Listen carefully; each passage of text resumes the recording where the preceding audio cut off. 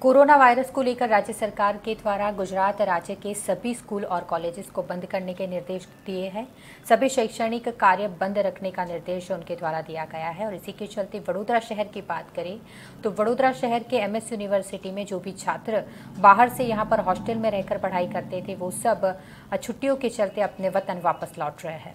Corona virus के चलते गुजरात सरकार के द्वारा कुछ अहम निर्देश जारी कर दिए गए हैं। यह जो कोरोना वायरस है, वो संक्रमित लोगों से फैलता है और गंदगी से फैलता है, ऐसा बताया जा रहा है और इसी के चलते राज्य सरकार के द्वारा कुछ अहम निर्देश जारी कर दिए गए हैं। आपको बता दें कि गुजरात में राज्य सरकार के द्वारा यह निर्देश दे दिए गए हैं कि अब से, आज से लेकर 29 मार्च तक गुजरात के सभी स्कूल, कॉलेज और शैक्षणिक कार्य को बंद रखने, रखा जाएगा। साथ ही कोरोना वायरस से विश्व भर में जो मौतों के मद्देनज़र जो महामारी उसे घोषित कर दिया गया है।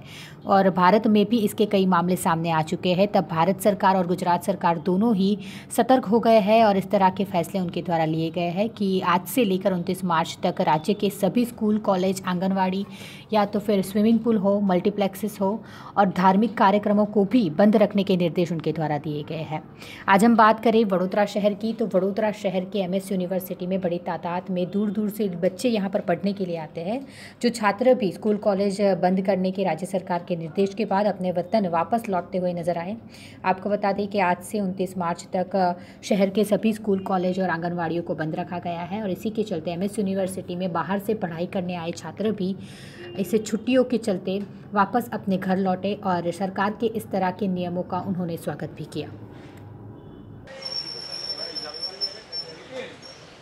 ગુજરાત છે, સરકારે જે પરિપત્ર બહાર પાડ્યો છે, બહુ જ સરસ છે અને બહુ યોગ્ય છે. બહુ કોરોના વાયરસ જે રીતે ફેલાઈ રહ્યો છે, તે માટે સેફટી માટે બહુ જ સરસ છે.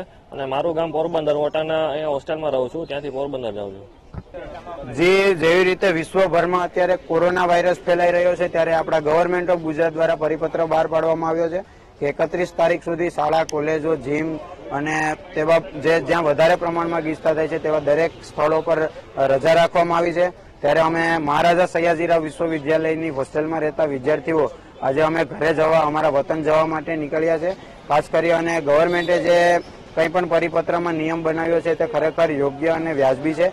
એ નિયમોને અમે આવકારીએ છીએ અને દેશના નાગરિકને ગવર્મેન્ટ દ્વારા જે કંઈ પણ નિયમો બનાવવામાં આવશે તેને અમે આવકારીશું. અને અત્યારે અમે લોકો યુનિવર્સિટીની હોસ્ટેલથી અમારા વતન સોમનાથ, કાઠિયાવાડ અને જે બીજા અધર સ્ટેટના વિદ્યાર્થીઓ પણ પોતાના વતન જવા માટે નીકળી રહ્યા છે.